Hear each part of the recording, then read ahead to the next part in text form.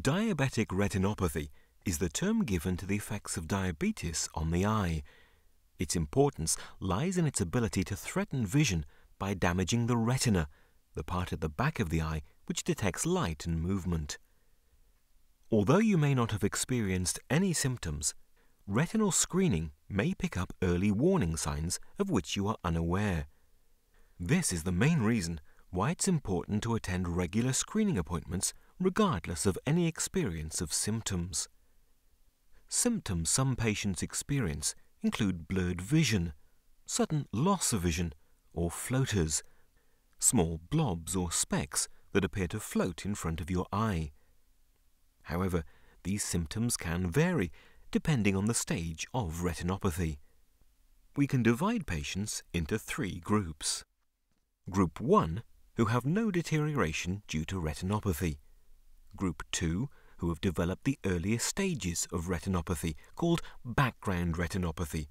And Group 3, who have progressed to more serious stages, called proliferative retinopathy or maculopathy. If you are in the first group, which thankfully is the most common by a wide margin, then your photograph shows no signs of the onset of disease and your eye is perfectly healthy. All you need to do is continue to attend a screening appointment once a year. Do not wait until your vision changes to attend an eye examination. Early diagnosis of diabetic retinopathy is vital to halting its progression and saving your eyesight from deteriorating further. About one in three of you will fall into the second category and will have developed early signs of retinopathy. This is called background retinopathy.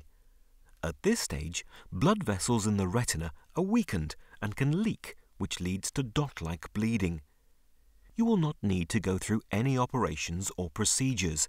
It is as simple as tightly monitoring and controlling blood pressure and blood glucose levels. This is the most important and effective way of preventing the disease's progression.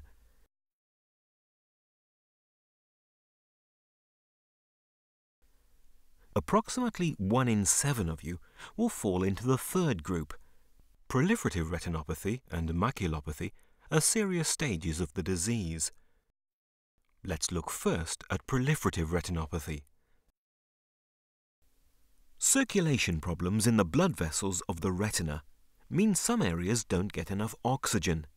New, fragile vessels form to bring in this missing oxygen. Since these new vessels are so delicate, they can hemorrhage easily, leading to blood leaking into the retina, which causes floaters and decreases the quality of your vision. Laser will be used to shrink these. Maculopathy and its effects are quite different. It affects the central part of the retina called the macula. This area is responsible for sharp vision, for example when watching TV or reading. Diabetic maculopathy, which you might also hear being called macular edema, is caused by the buildup of fluid in the macula. This watery fluid leaks through damaged blood vessels and is rich in fat and cholesterol. Although the eye reabsorbs the water easily, the fat and cholesterol leaves behind a residue called exudates. These are seen in the retinal photograph as yellow blobs around the area of fluid leakage.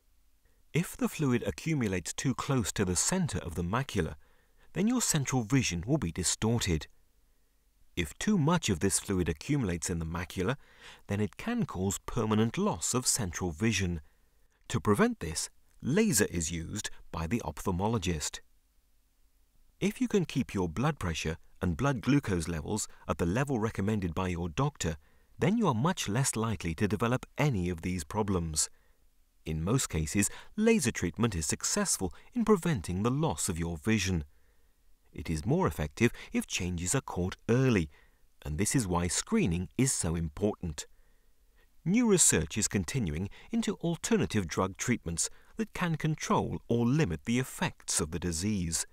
We'll let you know if and when these become available to you.